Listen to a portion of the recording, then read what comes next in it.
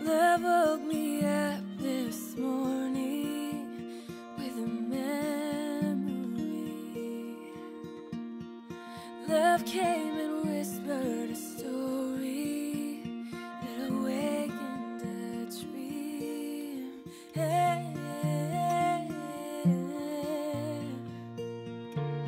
Imagine.